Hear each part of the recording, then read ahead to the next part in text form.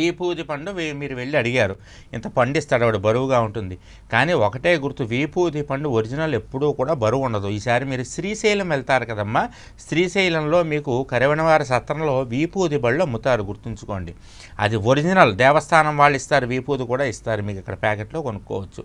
దాన్ని మీరు తెచ్చుకున్నారు. ఎంత పండు ఉన్నా లైట్ వెయిట్ ఉంటుందన్నమాట. అసలు చేతిలో పెట్టుకున్నట్టే ఉండదు. అది స్వచ్ఛమైనటువంటి ఆవు పేడ పిడకలను కాల్చినటువంటి భస్మంతో తయారు చేసింది.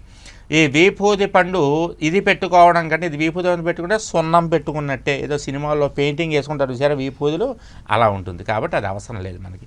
మీరు ఏం చేస్తారంటే చక్కగా తమిళనాడు కేరళ వాళ్ళు ఈ తమిళనాడు ప్రాంతంలో పళని నుంచి వస్తాయి వీపూది ప్యాకెట్లు. మంచి సువాసనతో జవ్వాజు సువాసన వచ్చేటటువంటివి. అది వాడుకోవచ్చు.